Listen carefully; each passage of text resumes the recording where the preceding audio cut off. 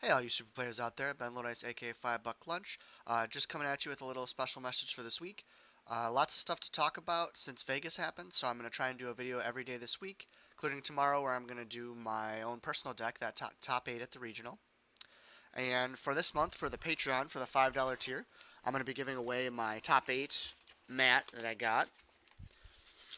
So please enter for that, and you get a chance to win this really cool looking top 8 mat. Uh, one quick note for that, there was a little confusion. Make sure you stay in the tier until the second of the month because otherwise uh, it won't charge you and you won't be in the raffle. I do the raffle on the second of each month. So uh, yeah, enjoy this video and look forward to lots of videos this week. Hey all you super players out there, Ben Lodes aka 5 Buck Lunch, coming out to deck profile from Mike Friend who took top 32 in the Tournament of Power. Uh, why don't you go ahead Mike? Alright, so once again, just like the Chicago Regional, we are playing the Surge Broly leader.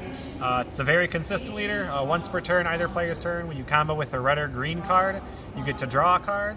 Uh, his Surge is a red and a green, you get to draw two, untap two.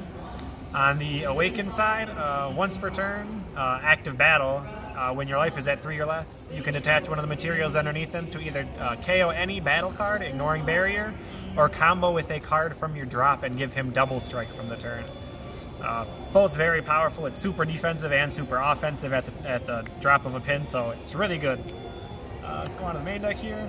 Uh, so we are running two of this Broly from the, uh, what is this from, tournament pack? Or the uh, tournament entry thing? Mm-hmm. So, no, it's uh, from the starter deck. two of this Broly, it's really good. People are leaving energy open all the time right now when you play it they've got two or more open energy, you get to take a look at their hand, take a card out of it, or take a battle card out of it that's got 20k or less.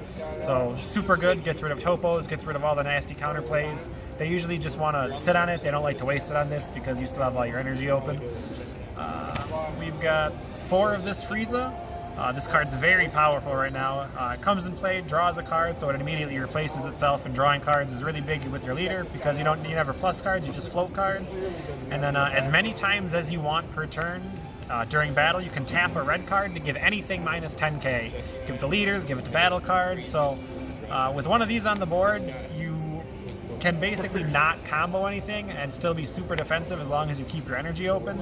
And then uh, if you're ever not using it for its effect, you just combo it off, get your leader draw effect going.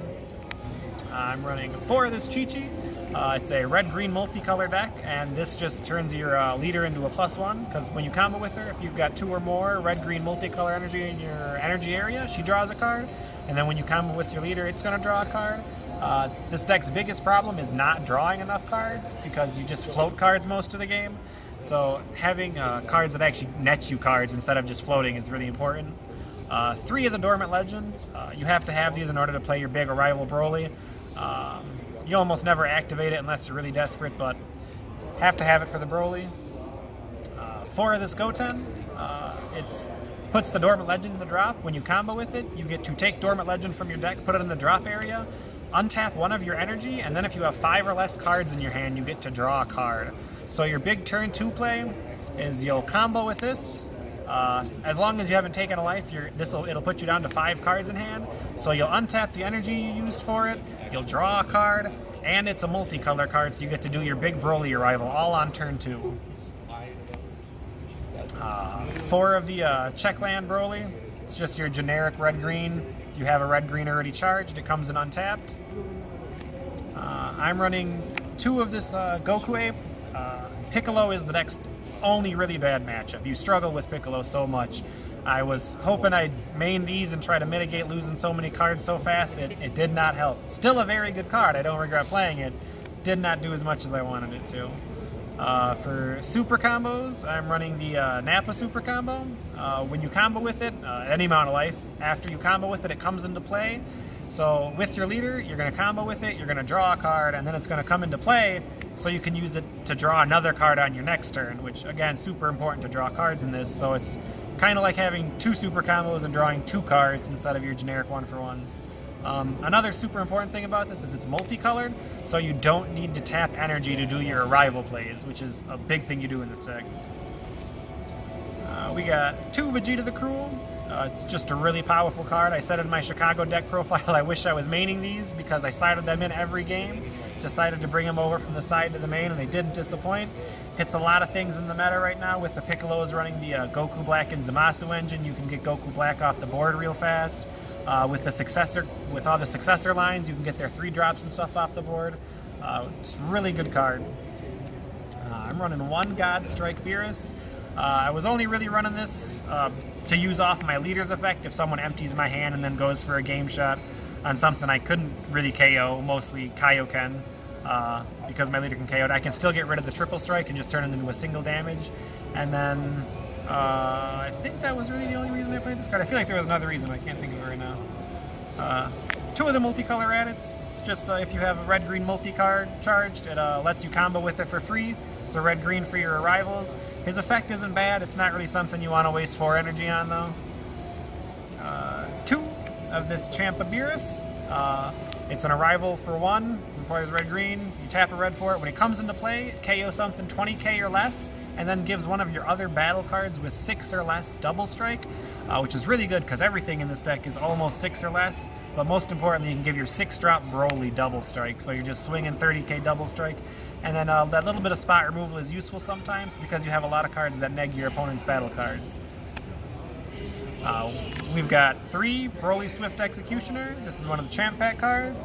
Uh, active battle, red and a green. Uh, put him into play, and then when he comes into play, he gives one of your opponent's cards negative 10k, and then you can take one card from your life and put it into your hand to randomly discard a card from your opponent.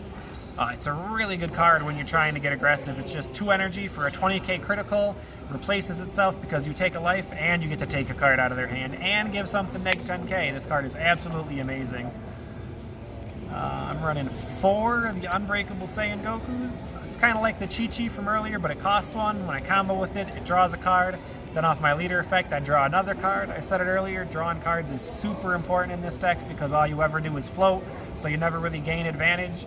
I was hoping these would swing the tides of the Piccolo matchup a little bit, and it helped some, but it wasn't quite enough. But it's still a really good card. Drawing two is never bad. I'm running two of the Vegeta Exploiting Weakness. Uh, really good counterplay. Uh, just cost three because our leader's red. When it comes into play, you give everything on your opponent's board negative 20k for the turn and give your leader 5k. So it's just really good on uh, boards that like to go wide. Um, it's not too good against, you would think it'd be amazing against Jiren, but it's not great against Jiren because they give uh, everything two or less barrier. But uh, with your six drop Broly, uh, in during your turn, you can put him into play, get rid of the barrier card, the card that gives everything barrier, and then just put one of these in play to sweep the whole board. I'm running two of this Gogeta. It's another red-green. It's got a rival for one. Double strike. Uh, when it comes into play, you just KO anything four or less. Uh, the KOing wasn't a huge deal. Uh, it was mostly just some extra aggression for a one-cost 20k double striker. And then we get to our big boy. We got the six-drop Broly. Uh, he's a rival, one red, one green.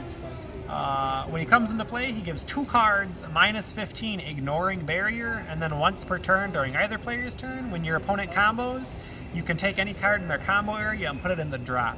This card is crazy good against uh, all the uh, other arrival things right now, the green, yellow, Broly arrivals and stuff, because they have to combo extra cards to get their stuff into play, so it's really huge tempo swings.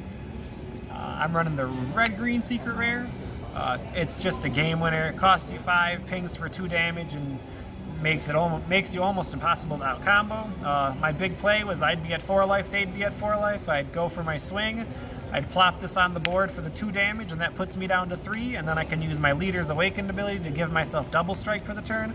So it's a four damage swing that they don't really see coming. Uh, and then I'm running one Fu Shrouded in Mystery. Uh, you tend to get uh, pretty high in energy because the deck can be so defensive or so offensive. It just depends how you want to play. Uh, I figured the Piccolo matchups were going to be really grindy, and they were, so I, I, thought this would be really good. Gets through the negates and all that. Uh, and it's just a really good card. If you reach that 6 energy and you slap this on the board, the game is basically over. Uh, move on to the side deck. Alright, so in the side, I'm maining two of For the Greater Good. Uh, a one cost green negate. Uh, the big thing that I liked about it is while it's in your drop area, you can uh, remove it itself and a green card from your hand from the game to negate an attack. This was really important in the Piccolo matchups because a lot of times you have an empty hand, they'd give you one card and then they'd swing with something else. So you'd still be able to get the negate off if it was going to get rid of your card, like the uh, Android 13, I think it is? No, it's 17. The, the big one that when it swings, it takes a card out of your hand. So anyways, you get to do that, and then it was really good against Invoker matchups, because when they plop their secret rare, they use their leader effect to look through your hand for negates. Even if they get rid of this from my hand, I can still use it from the drop. Uh, I'm running one more of this monkey. It was basically exclusively for the Piccolo match. It didn't really matter if they were plucking too many cards out of your hand. You just you weren't using a lot of your energy. You just tap two, draw two more cards, try to keep yourself in the game. Uh, I was running two Popo Guardian's Aid. Uh, I'm side decking Kaiokens this time around, and you have a really hard time filling, fulfilling the requirements for the 20 and drop. So I stuck two of these in there just to kind of help me get there. Uh, it never came up, but that's why it's in here. Uh, two, Haru Haru. Uh, it's really good. A lot of the most popular leaders right now are uh, green and yellow. Uh, you've got the Piccolo leader, you've got the Cell leader, you've got the Surge Coup leader. So um, she's really good against those. She's basically a free put and play 15 critical. She helps you fulfill your Kaioken if you're putting that in during that matchup.